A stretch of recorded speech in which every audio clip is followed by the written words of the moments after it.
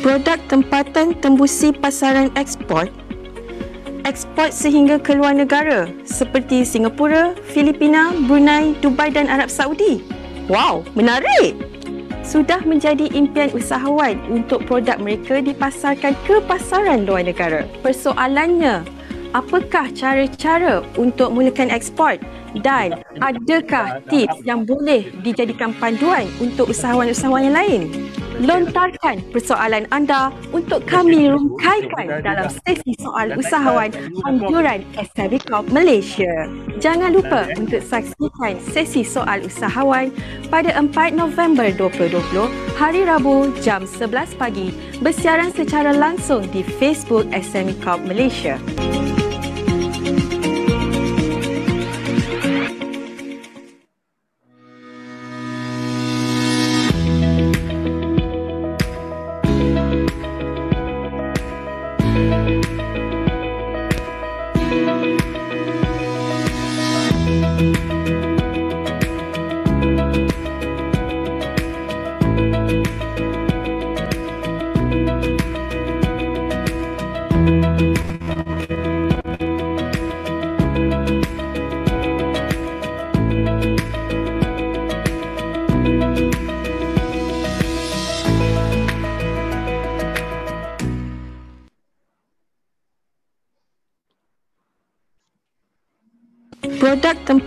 Tembusi pasaran ekspor ekspor sehingga ke luar negara seperti Singapura, Filipina, Brunei, Dubai dan Arab Saudi.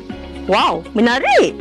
Sudah menjadi impian usahawan untuk produk mereka dipasarkan ke pasaran luar negara. Persoalannya, apakah cara-cara untuk mulakan ekspor dan adakah tips yang boleh dijadikan panduan untuk usahawan-usahawan yang lain? Lontarkan persoalan anda untuk kami rungkaikan dalam sesi soal usahawan anjuran SME Corp Malaysia. Jangan lupa untuk saksikan sesi soal usahawan pada 4 November 2020 hari Rabu jam 11 pagi bersiaran secara langsung di Facebook SME Corp Malaysia.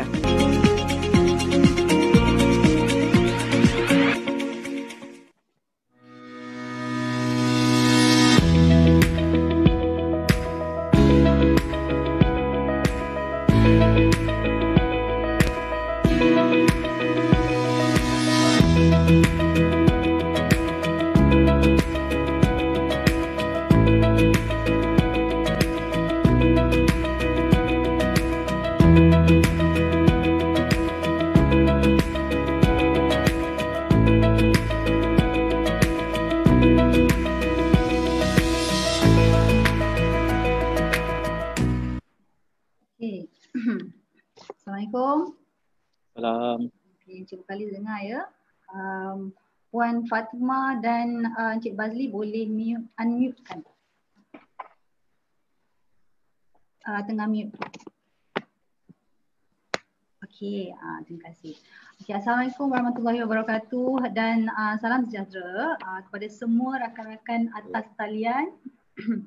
Viewers di luar sana yang menonton uh, menerusi FB Live SME Corp Malaysia. Jadi uh, kita kembali lagi uh, dalam sesi soal usahawan dengan tajuk baru uh, iaitu pasaran ekspor. Jadi uh, untuk tajuk kali ini kita uh, ingin lebih dekat lagi dengan uh, usahawan sebab uh, kebanyakan viewers di luar sana adalah uh, usahawan-usahawan PKS. Jadi kita bawa dari usahawan ke pada usahawan. Jadi sebelum kita mulakan, uh, saya ingin uh, memperkenalkan diri uh, terlebih dahulu. Uh, nama saya Nadia Yusof dari SME Corp Malaysia Pejabat Pahang. Dan pada hari ini kita ada dua panel uh, yang merupakan usahawan hebat uh, di dalam industri masing-masing. Jadi saya ingin ucapkan uh, berbanyak terima kasihlah kepada kedua-dua panel kita kerana sudi luangkan masa uh, mereka untuk uh, jayakan sesi pada uh, sesi soal usahawan pada hari inilah. Uh, Okey, yang pertama um, kita bawakan Encik Mukhalis Mukhtar, uh, pengarah urusan Ambang Wibawa Senyum Berhad. Uh, terima kasih banyak Encik Mukhalis uh, kerana um, apa sanggup meluangkan masa lah bersama kami. Okey, dan yang kedua, panelis kita yang kedua uh, adalah daripada syarikat Oshmi Food Sendirian Berhad iaitu uh, Puan Fatma Wati pengarah urusan dan juga Encik Bazli uh, Samsudin iaitu uh, rakan kongsi syarikat dan juga uh, suamilah uh, kepada uh, Puan Fatma Wati. Jadi um, untuk memulakan sesi kita pada hari ini uh, mungkin saya boleh berikan sedikit uh, apa tu latar belakang um, kita punya panelis. Jadi untuk Encik uh, Mukhalis Mohtar, uh, beliau pernah berkhidmat di uh, Bank Pembangunan sebelum ni, betul ya Encik Mukhalis? Ya betul. Uh, mempunyai minat mendalam dalam bidang aquaculture dan berpengalaman lebih daripada uh, 20 tahun lah dalam bidang international seafood market. Manakala untuk uh, Puan Fatma Wati, uh, saya difahamkan beliau uh, merupakan uh, pernah memasuki program CEO Desa dan uh, Encik Bazli pula merupakan ex-tubers kita uh, yang pertama 1.0 pada tahun 2014 yang lepas. Betul ya Encik Bazli? Uh, yang mana um, tube 1.0 tu memang pioneer lah, pioneer program. Jadi um, syarikat Oshmi Food ni uh, ada pengalaman menjalankan perniagaan lebih daripada 10 tahun dan um, selain daripada Oshmi Food sendiri berhad syarikat juga uh, Puan Fatma dan juga Encik Bazli ada syarikat yang diberikan nama Bentara Bumi Trading. Okay. So uh, itu saya bagi um, apa latar belakang secara brief ajalah. Tu warm up dulu. Jadi uh, boleh ke Encik, uh, kita mulakan dengan Encik Mohtar dululah ceritakan sedikit tentang uh, latar belakang perniagaan yang sedang dijalankan dan macam mana boleh terjebak dalam uh, perniagaan ini. Assalamualaikum warahmatullahi wabarakatuh. Uh, saya kenalkan diri dulu saya. Saya Murkhalis Mokhtar, pengarah urusan ambang bau sedang berhad. Eh. Saya ceritalah sikit latar belakang saya dulu. Eh.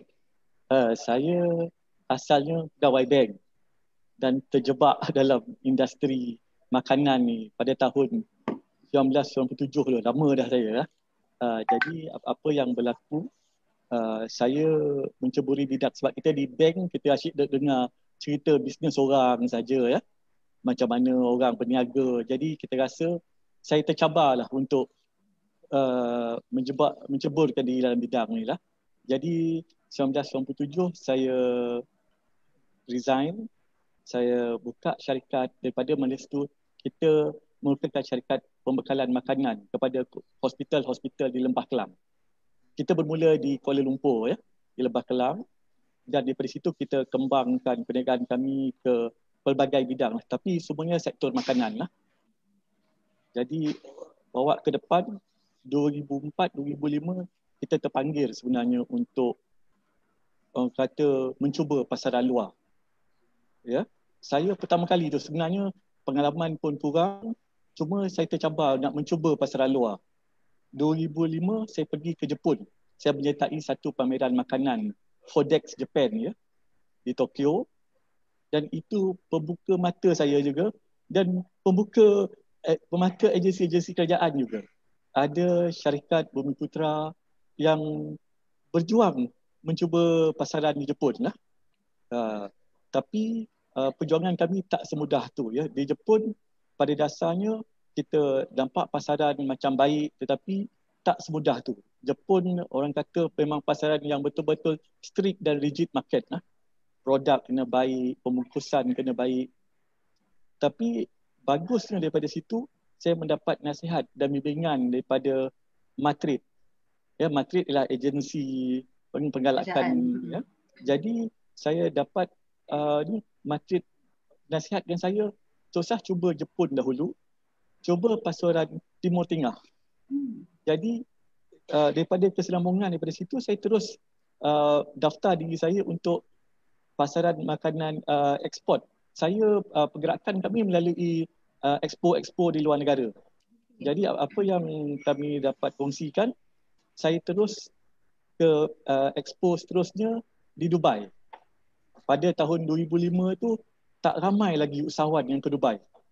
Usahawan daripada Malaysia ya. Pada masa tu saya peserta tak sampai 10 orang pun di Dubai pada tu. Jadi apa yang berlaku daripada sana saya pergi expo dan alhamdulillah inilah orang kata break pertama saya. saya dapat di Dubai. Lepas pada Dubai tu uh, dia alhamdulillah dia bersambung-sambung sebenarnya. Uh, jadi kita rasakan uh, peluang tu ada. Jadi jadi kita kena kena sikit kerja kuat lah. Cuma apa yang saya nak kongsikan juga pasaran ekspor ni menarik tapi tak mudah. Tak mudah. Kadang-kadang uh, persiapan yang diperlukan dia bukan saja persiapan daripada kilang kita. Kita boleh rasa barang kita baik ya. Tapi kita kena, saya selalu cakap kita perlu environmental scanning. Kita tahu kalau kita bercerita di pasaran Dubai, siapa pasarannya, bagaimananya. Jadi saya buat uh, kerja-kerja rumah di situ. Alhamdulillah pada masa tu pun Madrid dah uh, lantik kami lah. Hmm. bantu SME Corp pun sudah masuk pada oh, tu okay. sebab, hmm. sebab kita persediaan awal kadang-kadang dari segi kilang, pensijilan ya. Jadi itulah sikit sebanyak saya okay. intro saya dahulu okay. ya. Itu Jadi, intro dulu, kita simpan uh, dulu. Uh, jadi um, lepas ni kita nak uh, korek lagi lah, uh, masih kupas lagi daripada uh, Encik Muhtar, uh, Muhtalis, uh, maaf. Okay, uh, seterusnya um, macam mana pula dengan uh, apa Oshmi Food? Uh, apa boleh beritahu uh, sedikit tak mengenai latar belakang syarikat? Uh. Okay. Bismillahirrahmanirrahim. Assalamualaikum. Uh, saya beritahu nama saya dulu lah. Nama okay. saya Muhammad Bazli, saya sebagai pengarah pengarah operasi. Uh, Puan Fatma ni dia pengarah urusan. Saya menguruskan operasi kilang ni. Jadi uh, bagaimana kita mula terjebak? Uh, asalnya kita macam saya bidang pelbagai. Uh, dari segi macam teknik apa ni saya pernah buat uh, plastik in dalam hmm. industri plastik So jadi situ tak tak tak inilah tak nak so saya ubah kepada produk ini apa ni industri makanan. Okay. So masa industri mula tu kita apa ni berniaga di pasar-pasar malam je. Mm-hmm. So, jadi kita nak naikkan taraf uh, masa 2014 tu kita, saya umur 30 tahun. Uh, 35 tahun saya uh, apa ni mula dapat apa ni apa ni tiup tu. Tiup lah. Mm-hmm. Uh, tiup tu.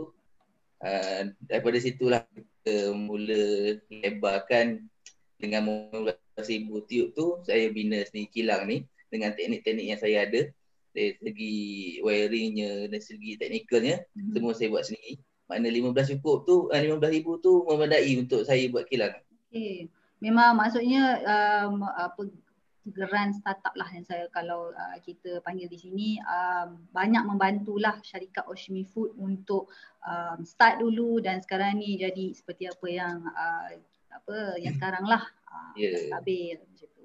Okey, um, berkenaan dengan uh, syarikat tadi tu, boleh saya tahu tak apa jenama yang dibawakan oleh uh, Oshmi Food? Jenama, uh, asalnya kita bermula dengan uh, Berbest Berbest, okay. Berbest. Uh-huh. Itu asal mula-mula kita create. Uh, tapi itu apa tu brand tu digabungkan dan banyak usahawan. Betul. Uh, digabungkan banyak usahawan jadi kita rasa syarikat ni kita ni tak boleh nak berkembang. Uh-huh. Sebab bukan brand kita sendiri. Uh, itu milik orang lain. Jadi kita dalam CEO desa tu CEO desa kita fikirkan satu brand baru untuk kita kembangkan lagi. Dari situlah dapatnya idea Oshmi Food ni. Okay, jadi uh, Oshmi Food tu dia tercetus daripada uh, program yang uh, di apa dimasuki lah maksudnya. Uh. Okay. Jadi untuk uh, Ambawi Bawa, saya lupa nak tanya tadi. Uh, jenama apa yang dibawakan oleh uh, okay, Ambawi? Uh, produk kami di Timur Tengah kebanyakan di bawah nama klasik ya boleh dapat di supermarket-supermarket utama di Timur Tengah lah. Ejaan dia macam mana? C L A S S K L A S S I C. Ah, cuma apa yang saya nak sentuh uh, kami punya kaedah ya produk dan hala tuju perdagangan kami lain sedikit sebab kami bahan mentah ya. Mm-hmm. Kami bahan mentah sebab saya produk saya ialah ikan-ikan sejuk beku dan juga udang. Jadi uh, pada peringkat awal ya pada peringkat awal kita banyak buat produk di bawah jenama orang. Kita buat OEM sebenarnya. OEM kepada pelanggan-pelanggan utama kami di Timur Tengah lah. Uh, dan Alhamdulillah pada masa tu kami dapat sebuah syarikat di Dubai yang tengah set up satu jenama dan set up juga produk dia di supermarket. Itu kami punya permulaan kepada pasaran retail ya. Jadi apa yang kami buat, kami develop satu brand bersama-sama dengan uh, uh, wakil kami di Dubai. Dan daripada situ kita kembangkan juga dari segi sebab lain negara lain syarat-syarat pelabelannya ya. Dan juga dari situlah kami kembangkan satu satu satu ya. Alhamdulillah dari segi sudut pasaran ya. Sudut pasaran kita hantar di Dubai. Di mana pasaran kita kalau dari segi sudut ikan lebih kurang 80% ke Arab Saudi. Arab Saudi ya ikan dan yang di samping-samping tu kami juga menghantar juga ke Jepun tadi saya cerita dulu tak dapat di Jepun ya tapi alhamdulillah sekarang ni kita dah menghantar ke Jepun ikan juga menghantar Jepun dan yang terbaru semalam baru kami lepas dah kita punya pendaftaran dengan US FDA ya. Mm-hmm. InsyaAllah lepas ni kita ke pasaran Amerika pula lah. Okey. Jadi sekarang ni maksudnya uh, Amal Wibawa dah um, apa menembusi pasaran ekspor di negara um, Dubai tadi, uh, Jepun. Yeah. Uh, satu lagi uh, lepas ni nanti memang akan um, US ah US akan jadi InsyaAllah. penambahan. Insya-Allah. Lah. Uh, alright. Okay, macam mana pula dengan uh, Oshmi Food? Um, dah tembusi pasaran ekspor ataupun memang uh, macam mana? Dan apa status sekarang? Status yang pertama apa ni pada tahun 2017 kita cuba masuk ke Singapura. Mm-hmm. Masuk uh, masuk ke Singapura melalui ejen mana ada ejen yang cuba masukkan ke pasaran retail Singapura iaitu Mustafa Center. So dalam masa tu itulah masa yang agak singkat kita nak sediakan dokumen. Jadi dalam masa yang dibagikan tu uh, kita cuba siap-siapkan dokumen alhamdulillah kita selesai dokumen tapi masalahnya ejen ni pula macam dia tak tak perform. Jujur. Oh okey, tak perform. Apa apa ni agent tak perform. Mm-hmm. Jadi apa ni untuk untuk projek Singapura tu gagal lah. Okay. Maksudnya tak tak tak masuk lah ke pasaran uh, Singapura tu. Masuk melalui Agro Bazaar, uh, Pama, uh, ada ejen yang kecil-kecil. Uh, hmm. Macam macam tu je lah. Mana export, real export. Belum uh, lagi lah. Gagal lah apa tu sama juga di Thailand. Thailand hmm. saya kira pun gagal. Mana yang terbaru ni dalam musim Covid baru ni kita hmm. dapat kontak daripada Madrid. Dapat kontak daripada Madrid yang mengatakan ada buyer daripada Filipin okay. berminat dengan produk-produk kami ni. Hmm. Produk apa tu? Uh, boleh tunjuk? Uh, boleh uh, terangkan tak produk apa yang dia uh, minat tu? Dia berminat dengan sambal apa ni sambal pahang ni sambal pahang sambal okay. pahang ni produk uh, pahang lah uh, sambal ikan talang hmm. dan sambal tumis ikan bilis okey mana uh, pada 2018 uh, tu masa 2017 tu kita dah register apa ni senian bahan dalam masa dalam masa sebulan kita register uh, matrik hmm lepas lepas apa ni Sdn Bahad kita masuk matrik. So ada offer uh, jumpa klien, jumpa buyer di matrik ada program lah masa tu.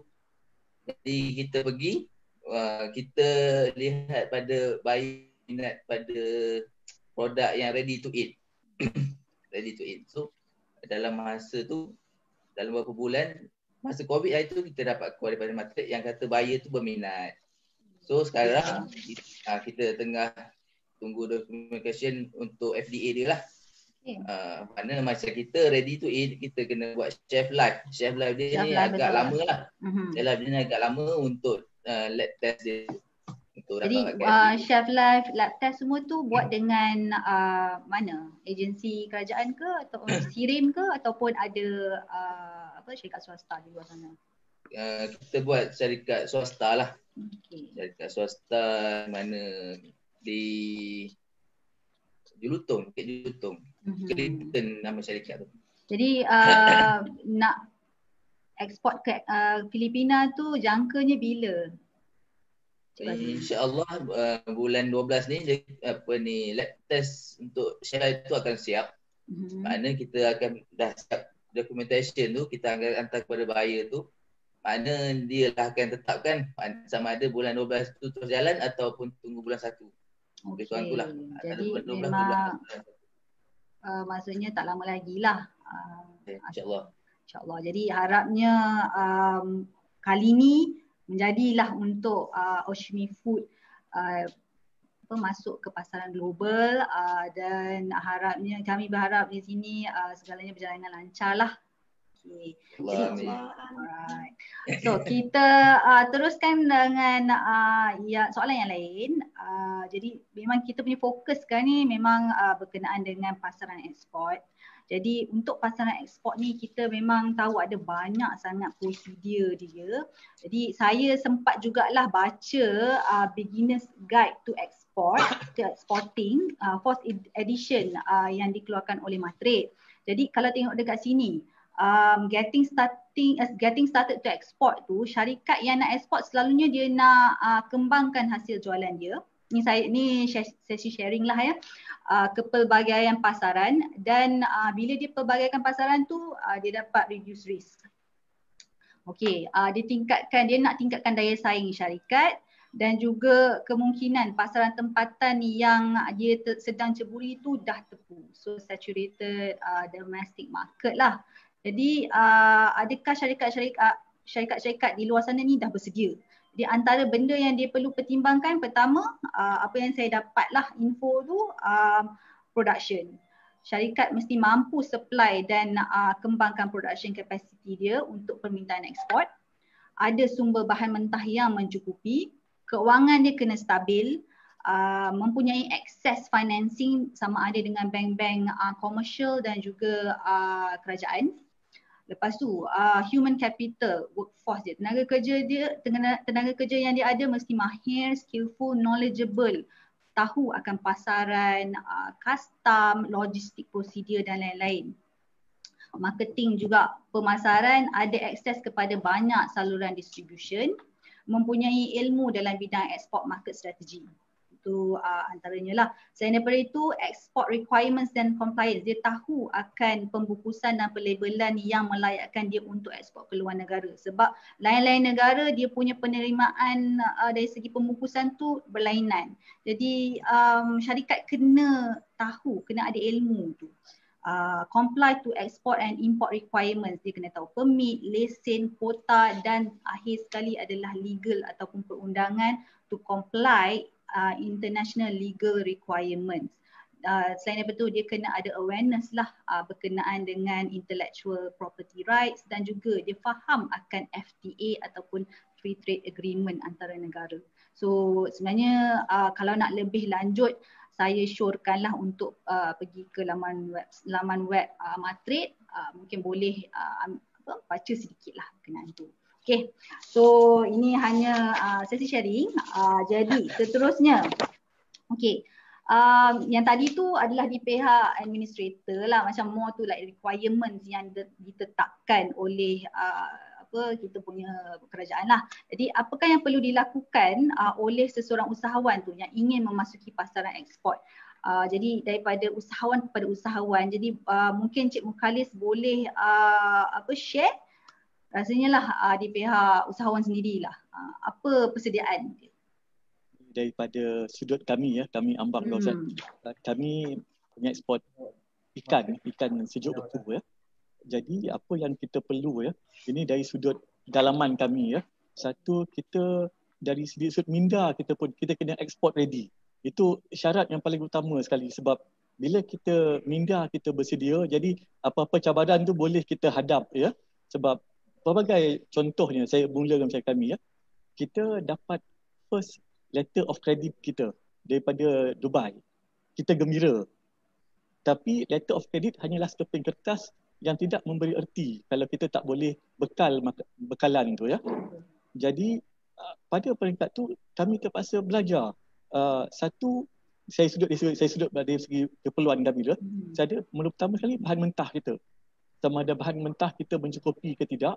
Sebab macam satu kontainer kami sekitar 24 ke 25 tan.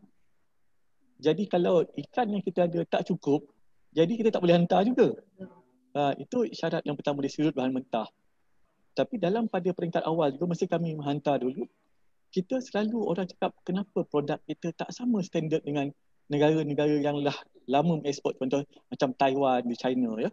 Jadi uh, itu yang kami belajar di sini tu saya sebut tadi dari sudut dalaman kita ya, dari sudut kilang kita kena pastikan tak mana yang kita perlu ada, perlu ke tidak kita tambah di sini.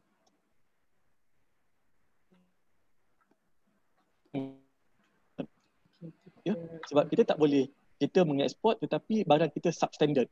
Nanti kita akan ada masalah dari segi uh, berlepas daripada sudut undang-undang dan juga sudut pasaran ya.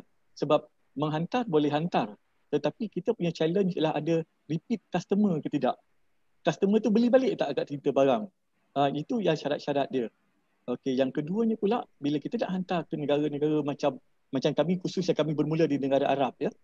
Di negara Arab, Arab ni kita kena faham PL dia juga. PL Arab dari segi runding harga. Jadi banyak peringkat-peringkat awal dari segi harga, kaedah pembayaran. Sebab uh, masa saya mula-mula dulu, ialah kita semangat saja peringkat awal ya. Jadi banyak kerja-kerja rumah yang kita kena buat. Itulah pentingnya bagi saya agensi-agensi kerajaan. Sebab kadang-kadang uh, orang bercakap sukar-sukar ya sebenarnya lebih kepada kita. Kita kena, itulah peringkat awal saya berjumpa SME Corp dari segi kita punya pensijilan, baik pulih kilang, dan Sirim pun masuk sekali hmm. bantu kami susun atur kilang dan juga matrik pasaran. Dan kita jangan lupa juga, bila kita ekspor luar negara, kaedah pembayaran, Incoterms tu. Hmm. Kadang-kadang kita tak pasti macam mana nak buat CFR, CIF, benda-benda macam oh, tu. Jadi kita kena, kena belajar. Jadi sikit sebanyak apa saya cakap, peringkat awal kita tu sendiri mesti export ready. Sebagai usahawan kita kena export ready. Sebab saya selalu bagi macam ber, ber, ber, ber, ber, ber, berkongsi pengalaman kawan-kawan tak salah kita berimpian untuk hantar keluar negara. Tetapi impian saja tak cukup ya. Kena dengan kerja-kerjanya kata kena homework. Ha. homeworknya lah. Jadi itu sikit sebanyak lah saya kongsikan. Okey. Um, jadi uh, yang itu memang kita sebenarnya kita sangat perlukanlah info ataupun tips lah daripada usahawan tu sendiri yang dah melalui segala onak duri tu uh, sampai sekarang ni dah berjaya uh, tembusi banyak uh, apa pasaran luar negara. Jadi um, selain daripada tu dokumen asas yang diperlukan uh, untuk fulfill the requirement. Lepas tu um, persiapan usahawan tu sendiri macam tadilah Encik Mukali cakap um, apa research kena buat. Jadi untuk um, Oshmi Food lah uh, macam mana persiapan masa tu? Uh, yelah lepas ni bulan 12 bulan 1 tadi kata uh, akan masuk ke pasaran Filipina insyaallah. Jadi apa persiapan yang uh, dibuat oleh uh, Puan Fatima dan juga Encik Mazli uh, macam kami sebelum ni kami belajar daripada kegagalan.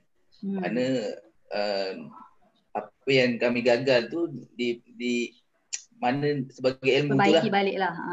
Perbaiki balik. Mana yang itu dari segi requirement, uh, requirement dia, dokumentasi kami dah ada.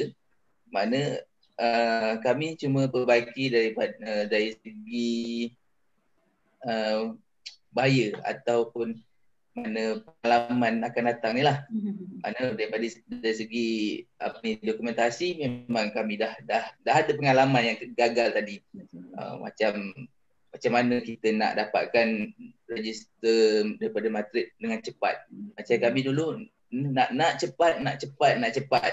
So jadi jadi kenapa jadinya syarikat uh, bakery jadi ke Oshmi? Mm-hmm. Sebab uh, kita nak cepat. Jadi kita beli syarikat yang bernama bakery tadi mm-hmm. dengan dengan ada saham apa kadar saham dia makna dalam masa setahun kita dah boleh register dengan metrik uh, metrik ni dia nak sekurang-kurangnya sekurang-kurangnya satu tahun untuk register dengan dia dan senian bahan mm-hmm. jadi kami nak cepat kalau buat syarikat baru kami lambat untuk dapat dapat registration tu mm-hmm. jadi beli syarikat yang berumur satu tahun tadi uh, kita register dalam satu bulan kita dah boleh register dengan matrik. Okay. Uh, itu pengalaman. Jadi uh, dokumentasi semua dah tak ada masalah lah. Uh-huh. Cumanya yang dia minta uh, dua produk baru ni macam sambal ikan bilis dengan ikan talang ni, ini uh-huh. dua produk ni adalah produk baru. Itu yang menjadikan lambat untuk lab test lah mm-hmm. uh, menjadi masalah. Kalau dia order satu je hari tu memang kita dah lepas lah. Lepas lah. Hmm. Mm-hmm. Yang order satu tu sambal pahang tu lah ya? Uh, sambal pahang ni kita dah standby awal memang hmm. ada requirement dia. Yang dua ni uh, produk baru jadi hmm. kita kena buat lab test yang baru jadi makan masa. Jadi uh, macam mana? CEO luar negara, contohnya hmm. macam produk baru kita yang kita keluarkan ni sambal ikan bilis ni dengan sambal ikan talang kita belum ada. Hmm. Jadi itu yang melambatkan tu. Okey. Buat CEO luar negara. Kena ha. buat dululah semua Sebab benda tu. sebenarnya dah ada. Hmm, itu yang boleh patutnya boleh teruskan aja lah. Cuma dia nak yeah. lagi dua pertambahan produk yeah. lagi tu. Okey. Yeah. Jadi sebenarnya pengalaman yang um, apa pahit itulah yang mengajar uh, syarikat yeah. untuk lebih uh, apa tu aware ataupun lebih uh, tahu akan keadaan yang mana uh, lepas ni jadi apa. Uh, jadi dah boleh expect dah kan. Uh, Okey. So um, kalau ikut kat sini uh, untuk ekspor ni ada banyaklah kementerian dan agensi yang perlu uh, syarikat uh, berjumpa macam tadi Encik Mukhalis ada cakap pergi berjumpa dengan um, MITI, MATRID. Jadi um, tapi ialah untuk um, syarikat yang dah bersedia ni tapi dia belum lagi nak pergi ke uh, pasaran ekspor dia mungkin masih lagi tak tahu nak jumpa siapa ni nak jumpa MITI ke nak jumpa Matrik ke SME Corp ke ha. jadi uh, Encik Mukalis boleh uh, bagi tahu tak um, siapa yang syarikat kena jumpa dulu ya macam kita kongsi pula pengalaman kami dengan SME Corp ya okey okey sekarang sebab kita SME Corp ni bagi saya banyak geran-geran padanan yang ada ya. Hmm. cuma uh, kadang-kadang usahawan kita tak nampak mana siapa kita nak pergi dahulu ya. Mm-hmm. Jadi sebenarnya SB Corp ni boleh kata semua negeri ada. Jadi uh, yang kadang-kadang usahawan uh, tak tahu ya. Jadi yang dari pada pandangan saya ya, semasa kita nak mencukupkan kita ni untuk kita jadi export ready ya. Jadi kita kena ada pensijilan ya. Pensijilan dan kadang-kadang kita nak baik pulih kilang, pemasaran ya. Di sinilah bagi saya peranan SB Corp ni penting peringkat awal dan juga yang orang kata peringkat yang mezzanine ya. Hmm. perlu peranan asymptom ini sebagai contoh pengalaman kami ya. Kami dapat geran padanan awal-awal untuk kami automatekan kilang kami. Dan kemudian kami dapat pula untuk pensijilan ya. Jadi bagi saya ini ialah semua syarat-syarat untuk kita export ready ya export ready. Uh, itu yang saya tadi saya tekankan tu sebab kalau kita tak export ready kita boleh dapat customer tetapi ada kemungkinan besar kita tak mampu hantar sebab kita tak bersedia di sudut kilang, di sudut pelabelan, sijil ya. Dan yang paling utama sekali pemasaran.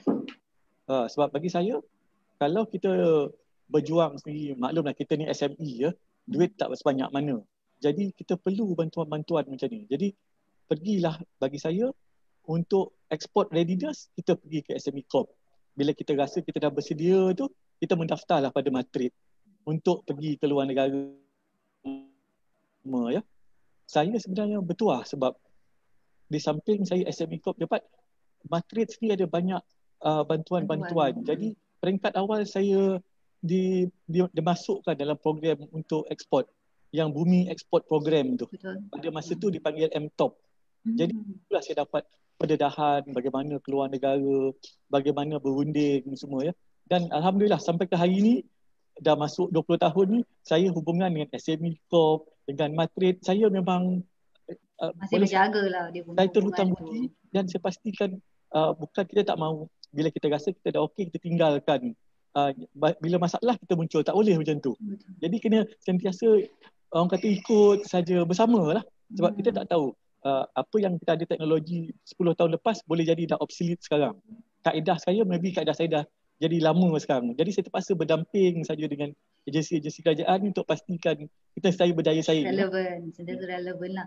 Jadi uh, tadi uh, Encik Mukhalis ada bercakap pasal uh, pergi ke uh, trade mission semua tu kan. Jadi rasanya trade mission ni membantu membantu ke untuk syarikat ataupun adakah dia ni macam sebenarnya menghabiskan duit sahaja uh, untuk pergi trade mission ni. Okey, dia begini sebenarnya kalau nak ikutkan menghabiskan duit ya sebab kita cerita mula-mula masa saya pergi ke Jepun pertama kali 2005 tu kadang-kadang memang kita rasa orang habis duit je. Jepun hotelnya mahal, negaranya mahal ya. Lepas tu tapi orang kata kalau tak sanggup ber, berhabis sikit tu tukar. Sebab itulah pembuka mata bagi saya. Uh, pembuka mata saya. Tapi apa yang saya boleh cadangkan kalau untuk pengekspor-pengekspor baru ya, eloklah berbincang dengan rakan-rakan lama. Macam contoh macam kami, uh, kami dah mengalami orang kata pahit, manisnya mengeksport ya. Jadi kita berasa ada setengah-setengah benda yang boleh dijimatkan. Sebab sebagai contoh ya, sebagai contoh saya ambil masa panjang sikit ya. Sebab masa saya contoh Apa? dahulu, saya pertama kali pergi ke Dubai, ramai yang menasihatkan saya bawa barang sebegitu banyak. Jadi bila banyak barang tu, kos kita pun makin banyak lah. Tapi lama kelamaan saya dah orang kata dah cerdik sikit jadi saya tak tak payah bawa banyak sangat barang dah. Dan khususnya kalau barang kita dah ada di sana baik kita ambil aja daripada ejen-ejen kita di sana. Tak tak perlu kita nak kendong macam barang kami ikan ya. Bila kita nak ekspor tu bagai-bagai yang syarat yang kami pernah penuhi. Jadi uh, lama dia nasihat saya lah elok kita bekerjasama macam kata kita macam sharing ideas macam tu. Jadi maybe kesilapan yang saya buat dahulu uh, macam rakan-rakan baru ni tak perlu nak uh, mengharungi pahit maung hmm. tu lah. Jadi share lah maksudnya bagi hmm. tahu dekat mereka uh, pengalaman dulu jadi mereka pun tak perlu mengulang balik lah. Ya. Uh, kesilapan kita. Kesilapan tersebut. Okay, uh, sama juga dengan uh, Oshimi Food lah. Um, ada masuk apa apa trade mission ataupun pameran di luar negara tak sebelum ni? Setakat ni belum lagi lah kita transmission hanya sekat di di yang sebelum ni lah di Singapura dan di mhm, Thailand mm-hmm. tu lah transmission sekali okay. tapi bukan melalui uh, Madrid mana uh, ada ejen-ejen lah kita pergi macam tu bukan melalui Madrid lah belum lagi lah rasanya. Ha. Uh, saya rasa lepas ni uh, mungkinlah bila keadaan dah uh, mula stabil, uh, keadaan ialah wabak pandemik lagi ni mungkinlah tak ada lagi uh, trade mission. Uh, tapi uh, next uh, selepas ni kalau ada uh, mungkin uh, Oshmi Food boleh uh, apa, join sekali lah. Uh, okay, so insyaAllah. Jadi uh, kita pergi ke soalan yang seterusnya. Jadi um, kita bercakap lah pasal uh, wabak uh, COVID semua ni kan, wabak uh, pandemik COVID. Saya pasti kedua-dua syarikat ni ada pengalaman sewaktu ingin mulakan uh, perniagaan. Macam tadi itulah cakap uh, apa kedua-dua syarikat dah bercakap mengenai cabaran yang dah dilalui semua. Jadi sekarang ni uh, buat mas- uh, sekarang ni memang kita nampak PKS di luar sana seluruh dunia lah. Uh, kita nampak memang tengah struggle. Uh, ada yang memang dah gulung tikar dan kalau belum lagi pun dia dah capai tahap kritikal sangat lah. So uh, soalan saya, adakah syarikat uh, Oshimi Food dan juga Ambami Bawa terkesan dengan uh, wabak COVID-19 ni? Um, dia ada dua kategori sebenarnya. Ada uh, syarikat yang terkesan teruk Uh, satu lagi kategori ada syarikat yang dia ambil peluang keadaan semasa sekarang ni jadi dia tukar business plan dia ataupun uh, business yang sekarang ni dia boleh adapt dengan keadaan um, apa ialah yang menggunakan uh, apa um, e-commerce dan lain-lain. So uh, di mana sekarang ni uh, syarikat Amami Bawa dan juga Oshmi Food ni adakah terkesan teruk ataupun um, apa berjalan dengan smoothly? Jadi uh, boleh kita mulakan dengan Encik Mukhalis. Okay, kalau dari sudut kami ya, COVID-19 ni kita terkesan teruk untuk projek baru.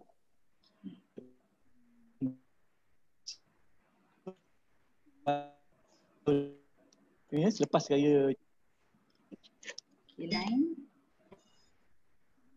Pembekalan udang. Ha. Pembekalan udang ke China. Eh. Tapi di waktu tu China dah memang teruk dah pada tu dan orang pun tak boleh keluar. Uh, kita pula mesin dah beli dah. Uh, mesin dah beli. Jadi uh, maknanya projek baru sehingga hari ini masih lagi tergantung. Sebab orang Cina dah boleh keluar, kita pula tak boleh keluar sekarang. Uh, jadi tergantung projek tu. Tapi kita ni dari sudut produk kita ialah makanan ya, ikan, bahan mentah makanan. Jadi kita kena sentiasa berevolusi lah sebenarnya untuk mencari pasaran baru. Kalau bagi kami uh, penting bagi kami ya sebab sebab saya kena saya kena ucap terima kasih ya kepada agensi-agensi keuangan yang banyak bantu kami. Uh, saya ambil kredit ni kepada bagi kredit ni kepada saya salah satu yang membantu kami ialah MTDC Malaysian hmm. Technology Development Corporation ya. Dia dia orang banyak membantu kami dari sudut keuangan ya. Dengan dari segi aspek kita punya pengembangan. Jadi penting bagi bagi saya sebagai nasihat bagi usahawan ya. Uh, di samping kita nak mencari pelanggan ya dan masalah COVID ni penting untuk kita agensi-agensi yang banyak membantu kita sudut keuangan ni pun faham keadaan kita ni. Uh, jadi alhamdulillah uh, bagi saya mereka semua banyak membantu saya. Sebab uh, sebelum ni peringkat awal uh, kita sebab misal kita satu tahap kita perlu kembangkan kilang kita ke tahap yang lebih besar ya. Jadi bila lebih besar bagi saya uh, banyak bantuan saya terima daripada Matrid, uh, Matrid lepas tu yang keduanya MTDC di sudut kewangan. Mm-hmm. Jadi apa yang berlaku sekarang ni uh,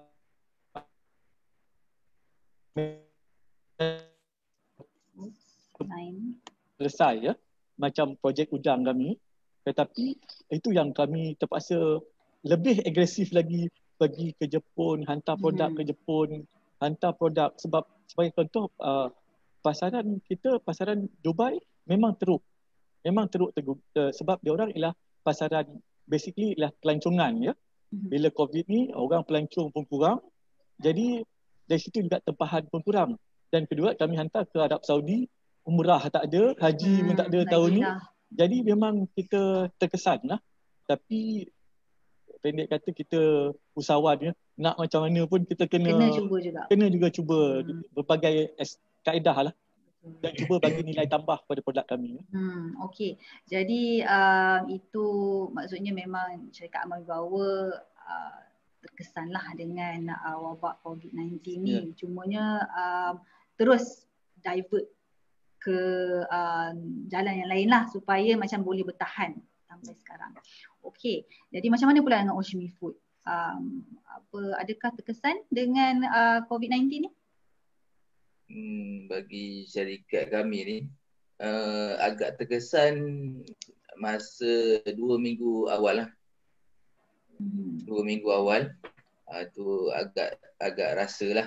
Jadi kita ambil inisiatif lain macam mana nak, nak jana balik kita punya hmm. ni income mana kita cuba cari inisiatif lah macam kita ambil ikan ke apa sayur untuk supply orang lain okay. mana yang orang tak boleh keluar jadi kita cuba jadi macam kita jadi frontier jugalah hmm, uh, kita dapatkan hmm. makanan hmm. macam seperti sayur ikan kita melalui online mana okay. uh, melalui online dan kita buat penghantaran.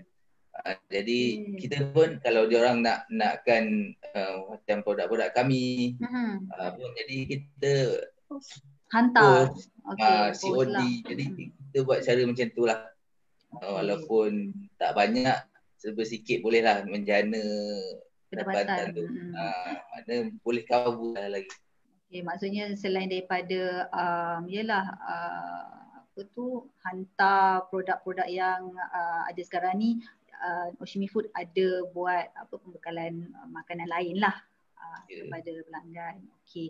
Jadinya maksudnya um, tak adalah bergantung sangat dengan uh, produk tu sendiri sebab masa tu uh, syarikat mungkin masih lagi tengah cari apa cara sekalipun untuk bertahan pada masa tu. Yeah.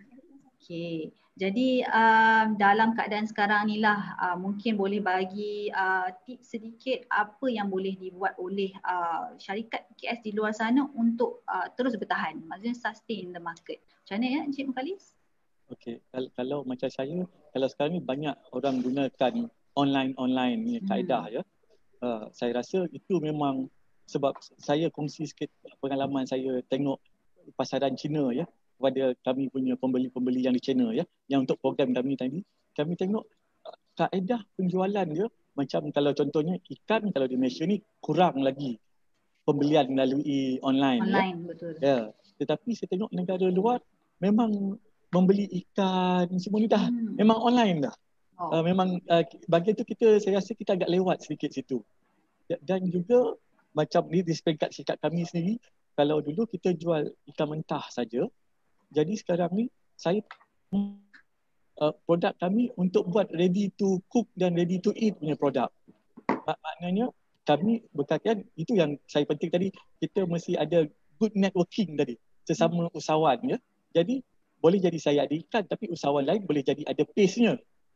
Uh, macam syarikat uh, puan uh, Cik Bazli uh, ada jadi jadi macam bila macam tu saya bila sekarang ni bila saya promote barang saya keluar contohnya ikan saya berserta pace-nya sekali Okay. ah sa- saya terpaksa saya kata tadi kita terpaksa berevolusi Mungkin mungkin boleh bekerjasama lepas ni. Ah, itu, itu. kan? InsyaAllah. Jadi sebab saya rasa uh, penting macam kita ada satu jalinan networking yang uh, kita maybe uh, Cik Nadia boleh uh, buat satu program Boleh, yang InsyaAllah. lebih kita ada macam orang kata T-Talk. Business matching macam tu. Ah, macam Ah, kita boleh cuba sekarang ni zaman COVID ni susah lah sikit. Ah, ya. Tapi tak apa kita boleh usahakan juga. Ah, alright. Jadi um, kalau macam tu mungkin uh, next lah next time kita boleh uh, cuba buat satu networking program uh, dan kita akan tengok lah industri-industri mana, sektor mana yang um, apa yang sesuai nanti kita akan cuba buat. Alright. Jadi um, so sekarang uh, ma- macam mana pula dengan uh, Oshimi Food? Uh, ada tips sikit tak macam mana nak memastikan uh, syarikat dekat luar sana boleh bertahan? Puan Fatma lah. Uh, mungkin boleh uh, apa share sikit. Okay, Assalamualaikum. Salam. Dengar tak suara saya? Dengar dengar. Ha. Terima kasih. Uh, pada saya lah, uh, zaman PKP macam sekarang ni kita banyakkan guna uh, FB Ads online. Hmm, betul. Facebook, WhatsApp, uh, maksudnya online juga lah.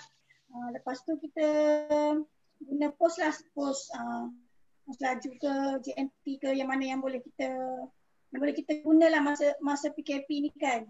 Masa Hmm. ma- macam kami, produk kami, uh, sambal-sambal ni tetap orang cari.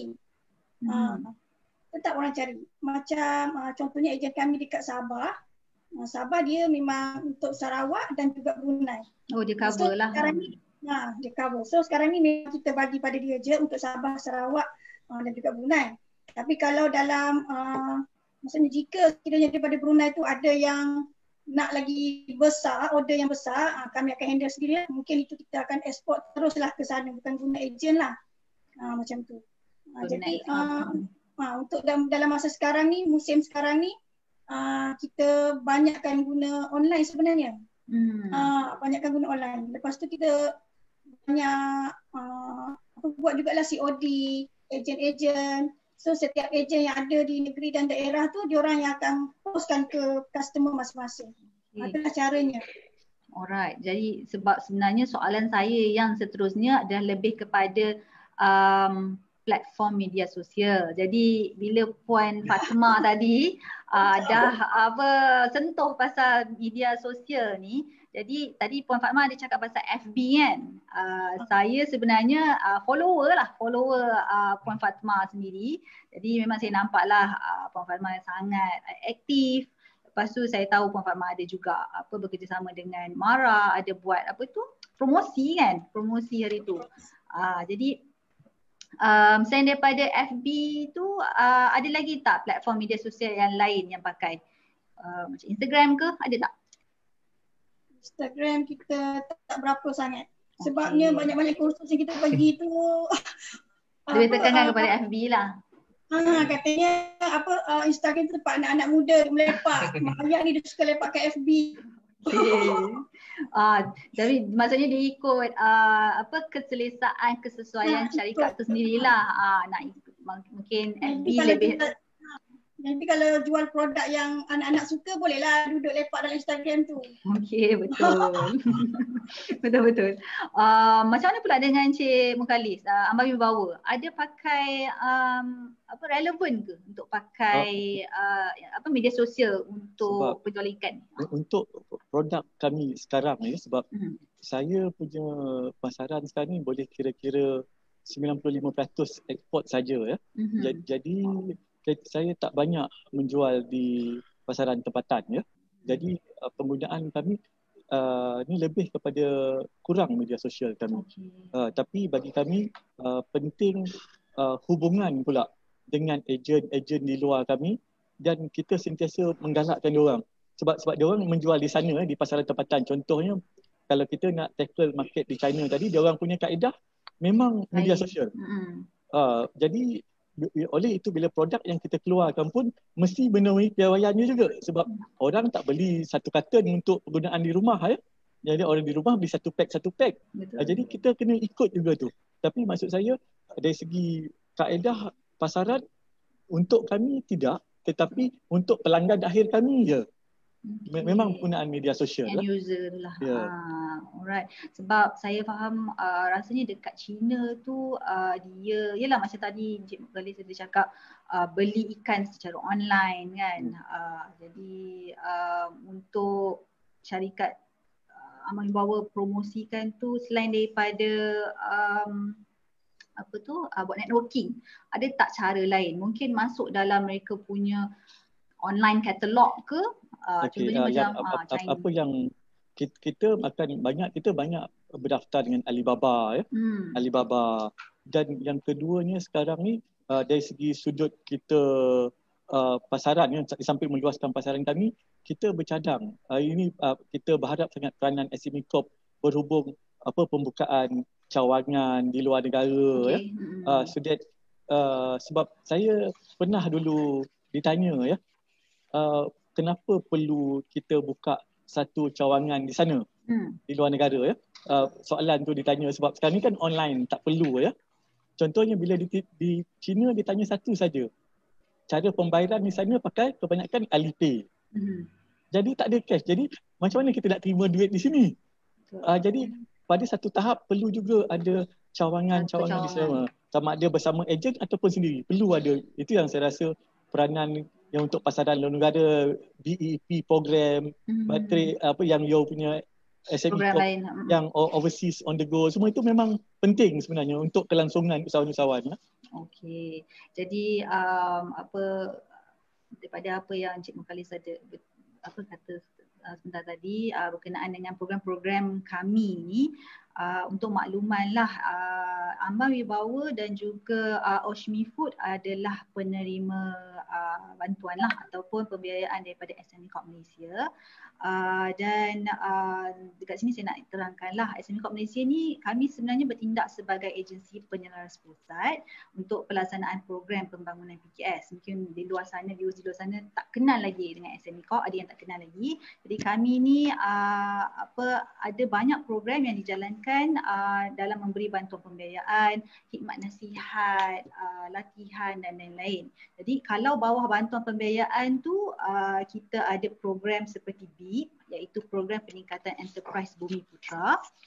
Yang mana program ni sebenarnya kita sasarkan untuk bertujuan membantu uh, syarikat untuk tambah baik lagi lah uh, perniagaan mereka supaya dia lebih berdaya saing, uh, berdaya tahan and dynamic Selain itu kita juga nak mempersiapkanlah syarikat ni sebenarnya untuk pergi ke pasaran ekspor. Jadi big ni dia lebih kepada nak uh, lebih nak menambah baik lagi syarikat tu dan nak siapkan uh, syarikat pergi ke pasaran ekspor yang berpotensi untuk ekspor produk dan perkhidmatan mereka ke luar negara. Contohnya lah kalau syarikat tak ada pensijilan halal lagi ke HACCP, ISO. Jadi kita sebenarnya bagi bantuan untuk syarikat dapat kan uh, apa persejilan tersebut kalau dia tak ada lagi pendaftaran uh, my IPO apa harta intelek juga kita ada bantuan tersebut e-commerce dan lain-lain.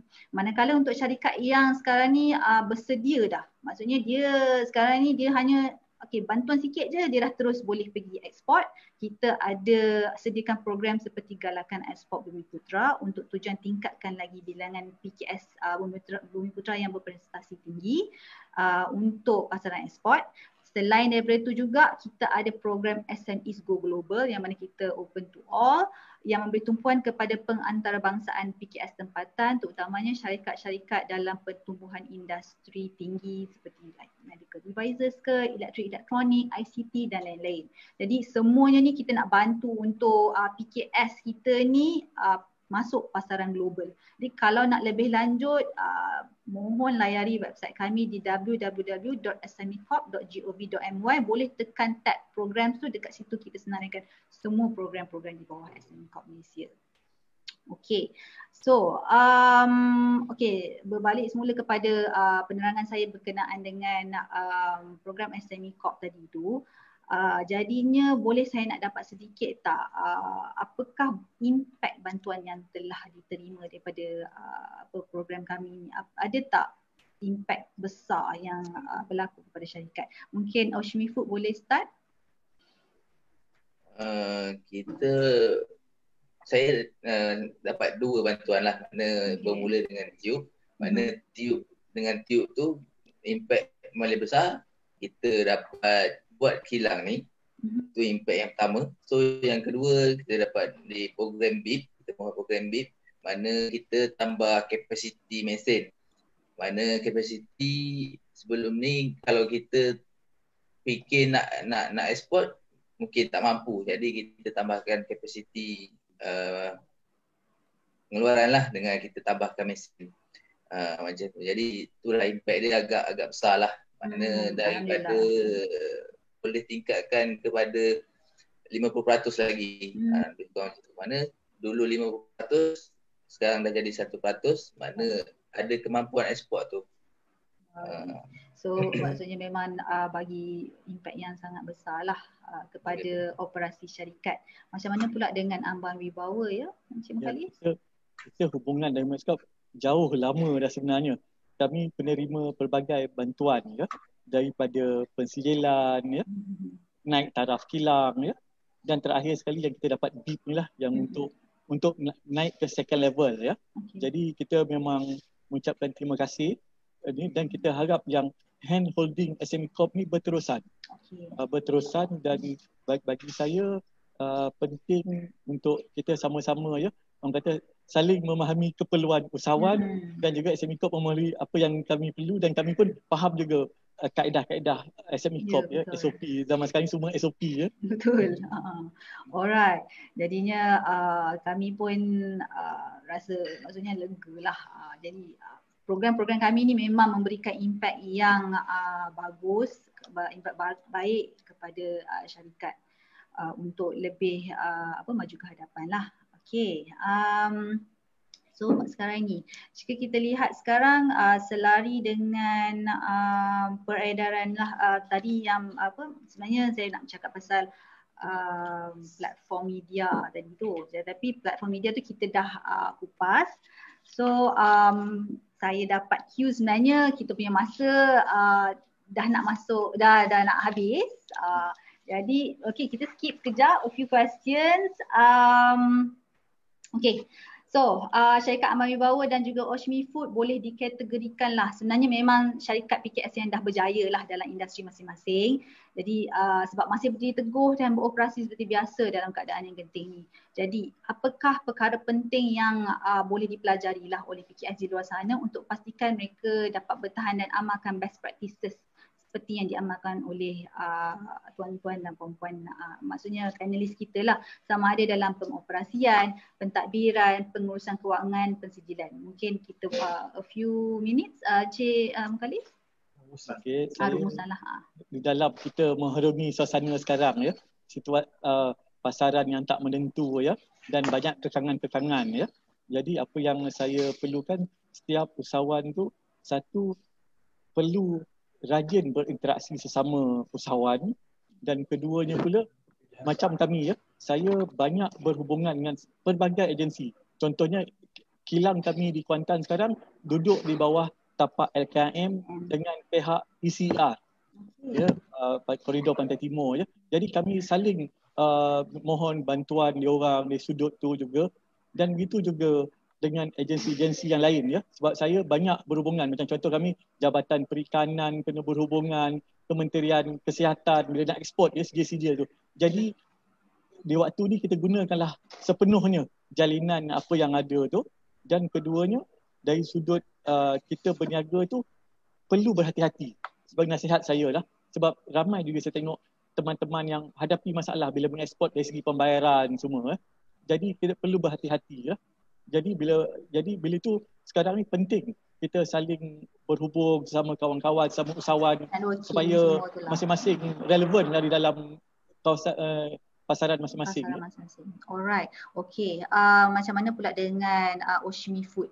Ada tak apa-apa best practices ataupun apa amalan terbaik lah yang dibuat oleh uh, Oshimi Food uh, dapat bertahan sehingga ke uh, masa genting sekarang ni? Apa tips yang boleh dikongsikan uh, lah? Okay. Uh, untuk Oshimi Food, uh, kita banyak kepada orang kata jaga bahagian apa ni uh, pemasaran sebenarnya. Mm-hmm. Uh, saya lebih lebih kepada uh, pencarian ejen. Sebab bila kita mula dengan ejen uh, tak ada yang consignment, ada yang hutang lah maksudnya so semuanya cash. Kat situ kita boleh rolling modal lah kan. Uh, jadi uh, untuk yang ke kedai-kedai itu macam contoh yang kita dah hantar ke Lesomat, kedai-kedai Azin kan, cawangan Lesomat, Azin, uh, Pasar Raya Lulu yang kita dah hantar tu memang uh, bill to bill dan juga ada yang consignment. Uh, tu yang yang kata uh, susah sikit lah nak pusing modal tu. Okey. Uh, ada sahabat usahawan kat luar sana, saya nasihatkanlah untuk uh, kita uh, mulakan uh, bisnes pada pada masa uh, PKP sekarang ni. Uh, saya rasa uh, jaga kita punya kewangan uh, daripada uh, maksudnya uh, keluar masuk keluar masuk duit. Uh, jangan pula dapat duit tu kita dah pergi uh, pergi collect duit dapat duit kita terus guna duit tu. Uh, masukkan dalam akaun syarikat dulu. Betul. sebab kita dah tick kan okey duit masuk hari ni berapa duit keluar hari ni pergi sana minyak berapa tu berapa semua. So uh, bila dah uh, ada yang lebih tu uh, itulah gaji kita. Uh-huh. Uh, itulah gaji kita so uh, gaji kita pun tak banyak macam kami pun bukannya ada gaji pun tak banyak pun gaji kami uh, macam tu jadi uh, disiplin lah Ha, sistem tu. Ha, jadi ha, bab kewangan tu yang kena jaga tu. Kalau bocor habislah. Ha, bocor, bocor duit tu habis kan. Ha, jadi ha, pada usahawan lah kawan-kawan usahawan. Ha, kalau maksud saya uh, kalau macam inilah kalau macam uh, dari segi pemasaran tu lah kan Oh. Kena mantapkan hmm. lagi lah pemasaran pilih. semua tu. Ha, kena pilih lah tengoklah macam mana. Kalau ejen tu abu hutang dulu boleh tak? Um, tak boleh lah nak hutang sebab ha, kena tegas lah maksudnya. Ha, kita ada dokumen lah untuk diorang sign semua agreement semua sebagai ejen kita lah macam tu. Alright, ha. okay. So um, kita ada beberapa uh, soalan Uh, jadi kita ambil masa uh, sekejap lah untuk menjawab soalan ni daripada Encik Muhammad Farizul Haikal. Dia tanya, matrik fokus makanan sahaja ke? Barangan lain pun boleh ke? Pun okey. Boleh tak Encik Mukalis tolong uh, jawab soalan ni? Oh, actually matrik merangkumi semua. Betul. Uh, merangkumi semua. Dia ada pelbagai bidang. Uh, cuma dan saya dipahamkan dia orang pun ada uh, pengkhususan bidang masing-masing. Eh. Uh, jadi untuk maklumat lanjut, uh, bolehlah ke portal matrik ataupun ke pejabat dia orang. Eh. Betul. Lebih senang uh, tengok dulu dia punya website dan lepas tu bila dah dapat semua info nak lebih ma- apa maklumat lanjut tu terus pergi ke pejabat uh, mereka. Okay, uh, Fidelis, Fidelis Mark ada bagi tahu dia dari Sabah ya. Program nak dapat halal cert, mana nak dapat info? Um, apa Puan Fatima ataupun Cik Bazli boleh jawab? Apa dia tadi? Program uh, uh, program nak dapat halal certification tu mana nak dapat info? Maksudnya mungkin dia nak uh, tahu dekat mana uh, ada tak apa-apa program ke yang uh, dia boleh dapat info berkenaan halal certification. Macam mana mungkin Puan Fatima boleh ataupun Cik Bazli boleh ceritalah um, jumpa siapa untuk uh, dapatkan halal certification? Halal certificate ni uh, sekarang ni mudah cuma online je. online uh, kalau di Pahang uh, Majlis Agama Islam Pahang lah Jaib mana kalau portal rasmi dia Jakim uh-huh. uh, boleh search dalam tu lah itu untuk submission tapi di Pahang ni untuk untuk dapatkan submission halal ni kena ada sekurang-kurangnya hilang dan ada mestilah uh, itu kena wajib yang ada untuk buat uh, permohonan halal ni. Mana uh, semua saya permohonan tu sekarang dah online. Semuanya online uh, ya. Dia tak ada dah macam nak kena isi-isi borang lagi dah sebab uh, kalau kalau pergi ke pejabat pun saya rasa nak nak pergi nak jumpa pejabat pun tak jumpa. Cari cari pejabat pun tak jumpa. Uh, susah dulu kami dah lami kami nak nak nak nak mohon halal tu kami pergi cari apa benda. Hmm. nak cari pejabat pun susah. Sampai sesat-sesat apa semua. Last kena isi online juga. Uh, jadi, jadi apa-apa pun tengok dululah dia punya ah, website uh, rasanya. Tak, uh. tak perlu nak pergi jumpa siapa. Sekarang ni untuk untuk permohonan halal just online je lah. Right. Uh, jadi lepas permohonan kita buat pembayaran dan dia akan audit lah. Hmm. Uh, jadi dia akan datang lah rasanya mesti dan halal uh, apa Jakim dia akan uh, selari lah kot. Uh, ya. Yeah. Okey, jadi itu sebenarnya um, apa pengalaman yang dilalui oleh Oshmi di Pahang lah. Uh, tapi ini sebab dia di Sabah, jadi mungkin di setiap negeri tu dia berlain-lain. Apa-apa pun uh, apa Encik Dialis mungkin boleh uh, layari dululah website uh, apa Jakim lah. Eh. Uh, Okey, uh, seterusnya Syarik uh, apa um, Encik Zamzam. Okey, Zamzam ala Kazam. Uh, dia nak tahu boleh share macam mana nak buat market share untuk overseas. Uh, Encik Mukalis boleh jawab tak soalan ni? Saya tak dengar. Eh? Okay, uh, boleh share macam mana nak buat market share untuk overseas? Adakah dia kata market plan ke? Market share untuk overseas? Uh. Faham tak Encik Mukalis? Uh, kajian pasaran. Mungkin nak buat uh, kajian pasaran rasanya.